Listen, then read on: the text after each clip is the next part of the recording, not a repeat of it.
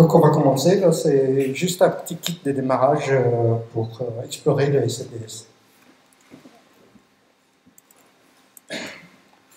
Oh.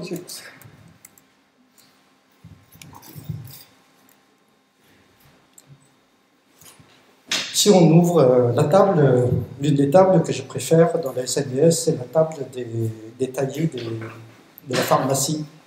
Et c'est là où vous voyez que, par exemple, le 1er juillet 2014, euh, il y a rentré euh, une certaine ligne euh, qui a été traitée le 4 juin 2014 et qui a un FAAC PRU de 4.21000 et ainsi de suite.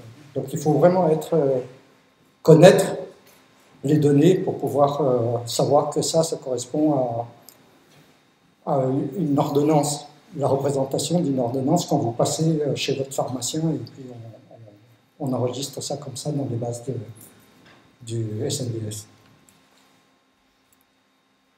Et ce que je voulais, c'est ça, par exemple. Et comme ça, vous, savez que, par exemple, le, le 4.2100, c'est le prix unitaire de la prestation affinée. Donc euh, voilà, on a acheté une boîte de médicaments qui, en, l'occurrence, c'est du préquisolone et qui a coûté 4,21 euh, euros, ainsi de suite. D'accord En clair. Et on peut savoir aussi euh, où est-ce que ça a été acheté, dans le Finistère, à Vannes, ainsi de suite. Ça, c'est la première chose. Pourquoi? Pour faciliter la découverte des déciliaires par rapport des, des libellés et des valeurs en clair quand c'est possible. Une deuxième euh, euh, exemple, c'est par exemple euh, une requête toute simple sur les prestations avec le générateur de requête dans le contexte du SNES, portail SNES, on utilise SAS Enterprise Guide, on va utiliser un générateur de requêtes et puis on va faire, par exemple, euh, on charge une table et puis on dit euh, je veux euh, tracer la nature des prestations de référence, bon CPRS Natref, et puis je veux calculer combien il y a eu de boîtes remboursées, combien on, on, a payé, ainsi de suite. Donc un truc simple comme ça. Mais du fait d'avoir rajouté les, les libellés, les valeurs en clair, à ce moment-là, on, voit tout de suite que le code de 3313, c'est le, point le, plus lourd des remboursements de l'assurance maladie, c'est la pharmacie à 65%. Donc voilà. Quand on travaille euh, sur le SNIRAM, on a plein de tables, beaucoup, beaucoup, beaucoup de tables. Notamment la table principale, c'est une énorme table avec 120, euh, 130 variables dedans. Et chaque fois qu'on veut croiser des tables pour avoir des informations, parce que c'est une structure classique euh, relationnelle, donc il faut toujours croiser des tables, donc il faut faire des jointures. Et de toute ma carrière, c'est la première fois que je vois dans un environnement une jointure sur neuf clés techniques. Donc, donc euh, quelqu'un qui va utiliser cet outil-là, ben, il va sans arrêt balancer en haut, en bas, chercher les variables et puis les joindre, ainsi de suite. D'accord? Et ce que je voulais, c'est avoir une vue qui va me présenter les neuf clés techniques comme ça dans l'ordre et tout de suite au départ. Et comme ça, l'utilisateur saura que ben, tant que je prends deux tables et que les variables se correspondent, ça veut dire que c'est une clé technique. Donc si je joins la, table des prestations, la table principale avec les pharmacies, à ce moment-là, je tire comme ça toutes les neuf lignes qui se présentent là, facile, comme ça d'un seul coup. Mais je pourrais aussi fournir une macro. Une macro, c'est un utilitaire qui s'appelle J9K, jointure sur les neuf clés entre la PRS et la FA, et comme ça, il va le faire directement sans être obligé à faire copier-coller euh, le code.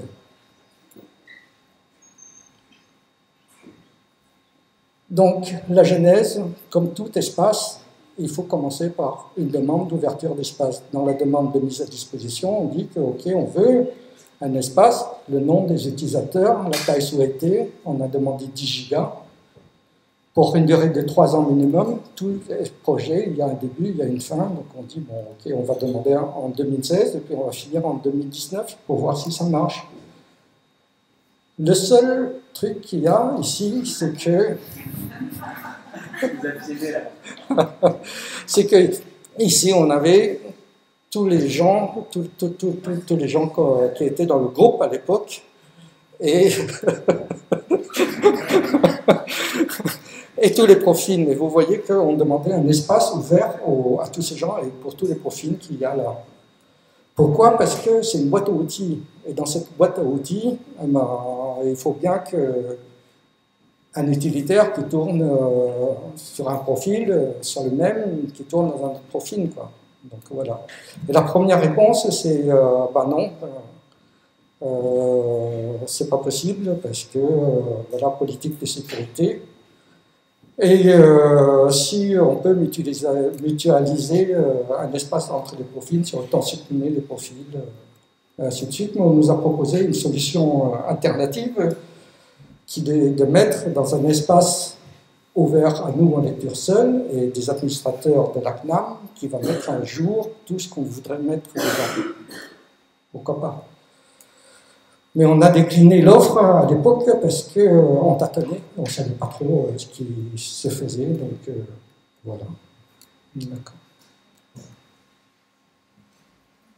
Et finalement, ça c'est la rubrique ABRAC. on utilise un outil qui s'appelle TiddlyWiki, très simple à utiliser. On crée une page HTML et on, fait des petites notes comme ça. Donc euh, ici, j'ai expliqué euh, ce qu'on faisait sur euh, le portail SNIRAM à l'époque, SNDS maintenant, voilà, donc la CNAM TS, maintenant la CNAM, a mis à notre disposition un espace, ainsi de suite. Hein. Et le 28 avril 2016, donc il a fallu 4 mois pour négocier, ils nous ont donné 10 gigas et un an plus tard, à la fin de l'année, ben, ils nous auraient dit à 1 giga. Donc, euh, qu'est-ce que je vais faire avec 1 giga? Ben, Ma boîte à outils. D'accord? Et la boîte à outils, euh, la rubrique ABRAC décrit la boîte à outils et elle sert aussi euh, de base de connaissances partagée. Ce que j'ai dit partager, c'est ce que j'ai dit à mes camarades, c'est que vous connaissez quelque chose, il faut le partager, il faut le mettre quelque part. Il ne suffit pas de faire une imposition de main. Par les temps qui courent, c'est très mal vu. Et si vous ne partagez pas, ben, ça reste privé. Euh, voilà. Dans la bibliothèque, euh, ici, euh, ceux qui ont l'habitude de, travailler sur le portail CBS, vous voyez qu'il vous donne un espace et il y a une bibliothèque qui pointe directement à la racine. D'accord Et ça, ça ça va pas très bien. Nous, on veut qu'il y a deux, euh, deux, deux, dossiers, au moins une table et puis après des formats. Dans la table partagée, qu'est-ce qu'on met? On met en gros tous les agents de la structure. On avait aussi des doctorants, des stagiaires et un touriste. Donc vous voyez que c'est pour ça que le temps d'accès à des CIR, il fallait qu'on trouve un système très rapide parce que les stagiaires, éventuellement, ils viennent, ils passent trois mois et après ils partent. Et si euh, on, les apprend, euh, on met euh, deux mois, un mois pour demander les accès et deux mois pour leur expliquer le, la structure du, du, CIR, c'est un petit peu tard déjà. Donc euh, voilà, en tout cas, j'ai essayé de, faire quelque chose pour faire ça. Là, on va regarder le côté euh, physique. À ce moment-là, vous voyez les fichiers. Et là, vous avez euh, tous les catalogues et les catalogues de format et les utilitaires. Les catalogues de format, ils sont là. On va en discuter tout à l'heure, on verra après ce que c'est. Et les utilitaires, il y a ici les macros et puis un catalogue qui contient les protos. Les référentiels, c'est une autre histoire, euh, donc je vous raconterai peut-être ça un autre jour. les méthodes aussi, on en a, on a aussi d'autres programmes d'extraction et des trucs comme ça, mais je vous en parlerai peut-être un autre jour.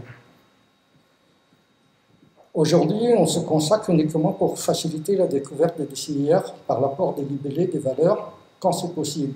où est-ce que je vais les trouver? Vous voyez que la CNAM publie sur leur site euh, des feuilles Excel dans lesquelles il y a table par table, le nom des variables, le libellé euh, et puis la table de valeurs associées. La seule chose que j'ai faite, c'est que j'ai repris ça en format SAS, table SAS, parce que euh, voilà, comme ça, et chaque fois que j'ai une table de valeurs, j'en ai fait un format. Ça, c'est la spécificité de, l'outil qu'on utilise sur le portail CNDS, SAS. À ce moment-là, à chaque fois, je construis une table de valeurs correspondantes. Et avec ça, bah, j'ai réussi à, reconstruire des vues que vous avez vues tout à l'heure. Bon, je parler maintenant des formats. Par exemple, les formats, leur source, ça peut être, par exemple, on vous dit que c'est euh, au Raval, IR si vous regardez dans la base, vous voyez le code 00. Le c'est NIR normal, 01, c'est NIR fictif. Donc à chaque fois, vous devez faire la correspondance comme ça. Avec les formats, ça va apparaître euh, directement sans, sans avoir euh, à faire ça. D'accord? Donc l'étape des valeurs, vous avez aussi des référentiels, notamment le référentiel de pharmacie, IRFAR. Comme ça, si je vois un code cible, je sais directement ce que c'est comme médicament ça aide un petit peu. Et puis, il y a aussi des sources externes. Les sources externes, c'est par exemple, euh, j'ai pris ici sur le disque réseau, donc sur le disque, notre disque réseau, j'ai pris euh, la nouvelle classification ATC. Et j'en ai fait aussi des formats. Et comme ça, euh, j'ai différents formats. Sur un code ATC, je peux avoir la version longue, la version courte, et puis éventuellement la version anglaise pour ceux qui publient.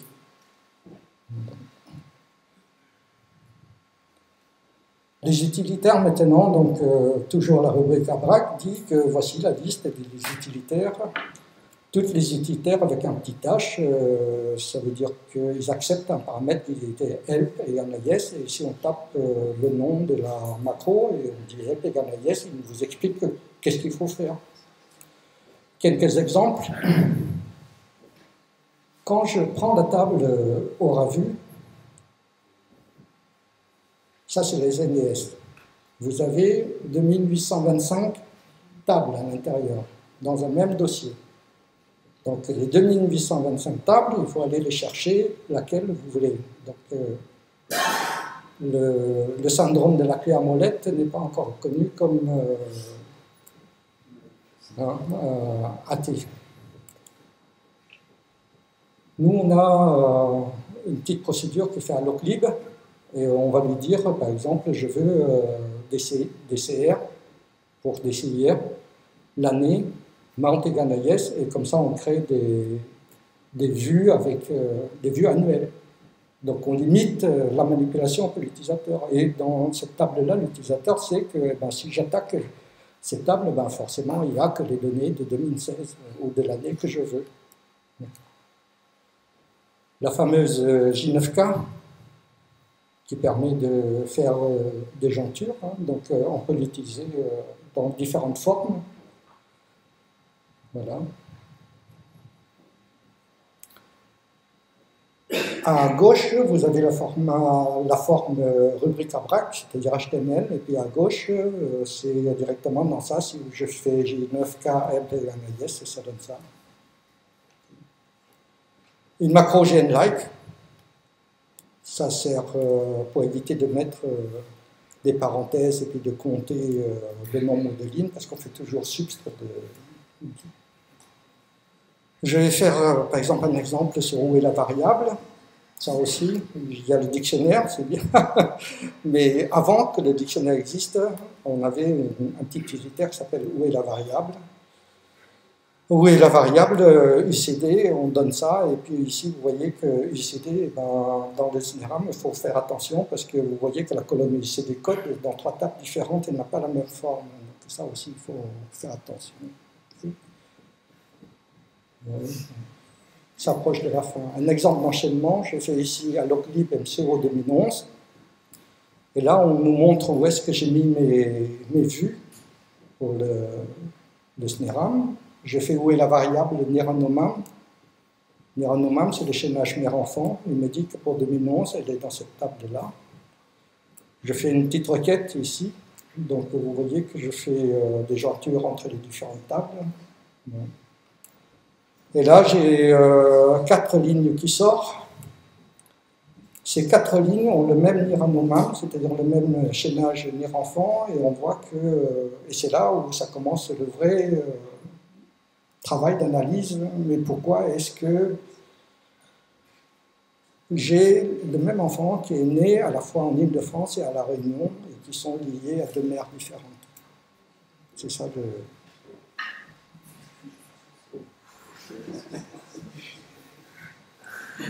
Les protos, les protos, c'est un peu plus compliqué que les briques de base. Les protos, c'est par exemple le CAFRET. Souvent, à la fin d'une étude, d'accord, on sort ça, ça sort euh, tout seul, très vite. Et puis, celle-là, elle, n'est plus utilisée. Vous savez, celle qui est utilisée, c'est Sissifrec, donc euh, Cédric Collin de IQVIA, qui est là. Il a été, elle a été montée pour lui. Donc il a une table, une balance, et puis il se débrouille, il cherche, euh, et puis il retrace. Et voilà. C'est la fin.